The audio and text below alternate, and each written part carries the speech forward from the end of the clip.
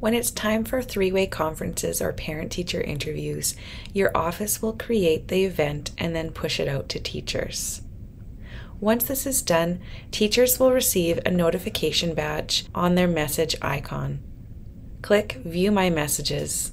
This is where the schedule will remain throughout the booking period. Click on November 14th conferences. Click Manage Schedule. Once in your schedule, you see a number of things. You will see the date of the interviews and the time slots. Underneath the date, you will see a section that says Enter a Room.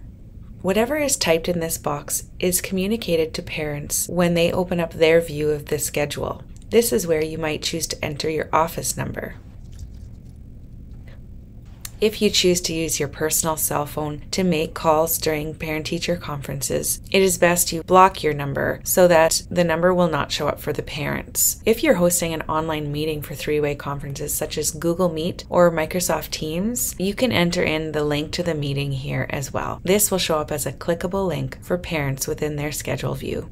Below that, you'll see which parents have booked in or have been booked in by the office. I can see here that Janet Lane is the parent of Camille and she has booked in at 9 a.m.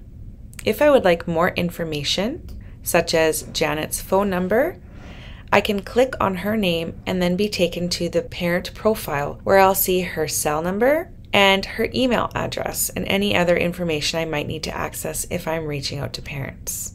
I'll also see the student, Camille. I can click on this link and view her panorama. This will give me information about what class the student is in. I can view the progress report or learning story.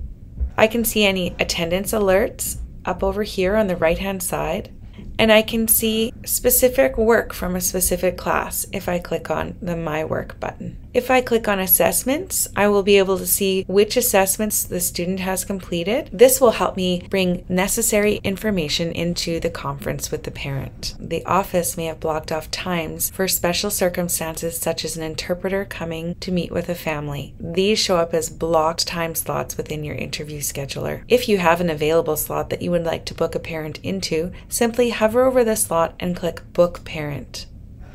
Select the class that you would like to book for. Select the student. And then the parent, and now the parent is booked. Any appointments that you make on behalf of a parent can be canceled by you. You do not have to print your schedule. You can work off the live scheduler if you like. However, the print view does allow you to see all information at a glance. When printing, we recommend that you include your notes and unhide blocked. Press the printer icon. You can see here that all of the information for my booked interviews are showing up. You see the parent name, the class, the student, and whatever information you placed in the room number section. Your next day schedule is on the second page. We recommend not printing until the interview scheduler has closed to parents so you don't miss any important updates or information. Once you're happy with how it looks, click Print you may wish to host an online meeting such as a Google Meet or a Microsoft Teams call. You can create a meeting in your calendar and then copy and paste the link right into this area. To schedule a meeting and therefore have a code to enter into that spot, what you need to do is navigate to your calendar. For Google Meet, go to your Google Calendar. Once in the calendar, click on the date.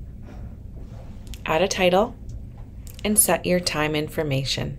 When you create your Meet link, it's really important that you go into your video call options and click off Quick Access. That will create a waiting room for your parents so that they do not automatically enter the call before you admit them. You can now copy that link and paste it into the Enter Room within your scheduler. This link will be a clickable link within the parent view. You can also access your schedule from your calendar. Navigate to your calendar. Navigate to the date of the conference. You can see here November 14th conferences shows up in your calendar. This will take you to your inbox where you can then manage your schedule. If you would like to see the parent view of the conference booking process, check out our video on conference scheduling for parents.